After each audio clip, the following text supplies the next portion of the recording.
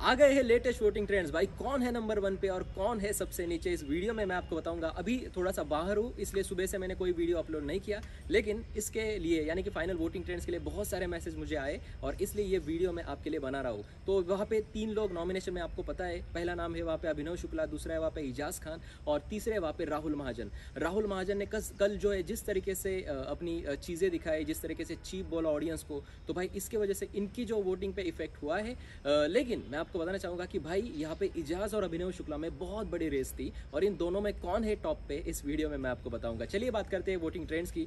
Number one की अगर बात की जाए तो जब वोटिंग ट्रेंड्स क्लोज हो चुके हैं तो वहाँ पे नंबर वन पे अभिनव शुक्ला और अभिनव शुक्ला नंबर वन पे रहने की वजह आप सभी को पता है। उनकी वाइफ रूबीना दिलक। जी हाँ रूबीना दिलक के फैंस ने इनको बहुत ज़्यादा वोट्स किए हैं और अभिनव शुक्ला की बात की जाए तो भाई नंबर वन पे और इनको मिले वहाँ पे फिफ्टी प्रतिशत वोट जी हाँ बहुत सारे इजाज के फैंस कह रहे होंगे कि भाई, इजाज ने क्या इनको क्रॉस किया? नहीं किया है क्रॉस वहाँ पे नंबर वन पे अभिनव शुक्ला रहे और अभिनव शुक्ला को 56 प्रतिशत वोट्स मिले। नंबर दो की अगर बात की जाए तो नंबर दो पे वहाँ पे इजाज खान और इजाज खान को वहाँ पे मिले 35 प्रतिशत वोट्स जी हाँ इजाज के फैंस कल शाम के बाद थोड़े से कम पड़े और कल जो है, कल वोटिंग टेंस क्लोज होने के बाद 35 परसेंट वहाँ पे इजाज खान को वोटिंग हुई। और नंबर थ्री तीन पे है वहाँ पे राहुल महाजन। और राहुल महाजन की बात की जाए तो भाई, इन्होंने अब तक तो अच्छे जा रहे थे, लेकिन कल जो चीज़ें की, उसकी वजह से वहाँ पे दिक्कत हो गई उनको, लेकिन तब तक वहाँ पे वोटिंग लाइन्स ऑफ़ हो गई थी। और राहुल महाजन को मिले वहाँ पे नाइन प्रतिशत वोट्स तो भाई, वहाँ पे सिंपल सा डिसीज़न है सलमान खान के लिए और बिग बॉस के लिए आज के दिन। आज के दिन वहाँ पे वीकेंड का वार का शूट हो जाएगा और आज जो है, आज वहाँ पे एक का इविक्शन होगा और वो नाम होगा वहाँ पे